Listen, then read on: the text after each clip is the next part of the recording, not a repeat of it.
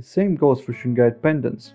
Even though they are not as large as shungite necklaces and therefore are not as effective as necklaces, they still successfully protect and heal the chest area.